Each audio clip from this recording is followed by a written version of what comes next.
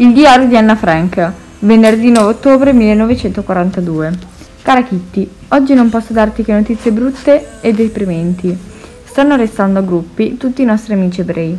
La Gestapo è tutt'altro che ricordosa con questa gente.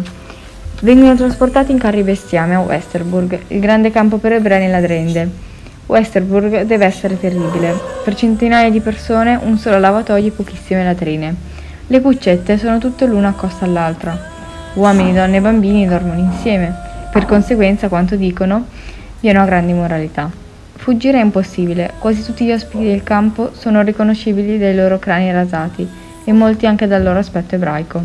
Se in Olanda stanno già così male, come staranno nelle contrade barbare lontane dove li mandano?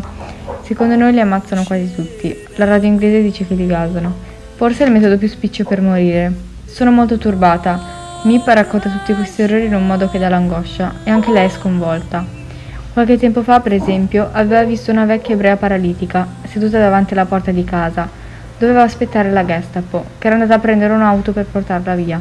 La povera vecchietta era terrorizzata per gli spari della contraera. C'erano apparecchi inglesi in volo sulla città e per le luci abbaianti dei proiettori. Però Mip non poteva portarla dentro, nessuno l'avrebbe usato, i tedeschi non scherzano con le loro punizioni. Anche agli Ammutelita il suo fidanzato deve partire per la Germania. Lei ha paura che gli aviatori che volano sulle nostre case lasciano cadere il loro carico di bombe di quasi un milione di chili sulla testa di Dirk. Scherzetti come un milione non lo avrà, oppure basta una bomba sola li trovo molto fuori posto. Veramente Dirk non è il solo a dover andare, ogni giorno partono treni pieni di giovani. Durante il percorso, quando si fermano in qualche stazioncina, cercano di allontanarsi alla chetichella e di nascondersi, ma solo una piccola percentuale ci riesce. Non sono ancora alla fine del mio canto funebre. Hai mai sentito parlare di ostaggi? È l'ultima moda in fatto di punizione per i sabotatori. È la cosa più tremenda che ti puoi immaginare. Cittadini ragguardevoli e innocenti vengono gettati in prigione in attesa di essere condannati. Quando avviene un sabotaggio, se non si trova l'autore, la Gestapo mette semplicemente al muro cinque ostaggi. Sovente nei giornali si leggono i loro annunci mortuari. Questi misfatti vanno sotto il titolo di Fatali incidenti. Bel popolo i tedeschi e anche una volta ero dei loro, ma no, Hitler ci ha fatto apologia da molto tempo e veramente non esiste maggiore inimicizia al mondo che fra tedeschi ed ebrei. Su quello spiazzo c'erano tantissime persone in fila pronte a salire sui treni. Eravamo tutti stipati in quel vagone e noi due non ci staccammo un attimo dalla mamma. Rimanemmo in piedi, avvinghiate ognuno a una gamba. All'interno del carro merci le persone se ne stavano tutte in silenzio, immobili. Avremmo voluto sapere dove stavamo andando, ma non potevamo chiederlo.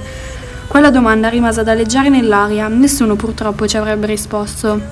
Durante il giorno si poteva giocare all'aperto, giochi di fantasia usando al massimo i sassolini in estate perché all'intorno non cresceva neppure l'erba e tirandoci palle di neve in inverno. Quando eravamo all'aperto, in lontananza, vedevamo il fumo dei forni crematori.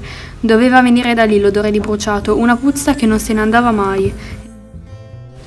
La morte era ovunque intorno a noi, ma stranamente non avevamo paura. Dopo un po' diventò addirittura normale vivere in quel modo. Da mesi non potevamo stare con le nostre mamme, con cui invece eravamo abituati a passare intere giornate. Così le malvagie SS radunarono i bambini, che alla proposta di vedere la mamma non avevano potuto certo immaginare che si trattasse di un inganno.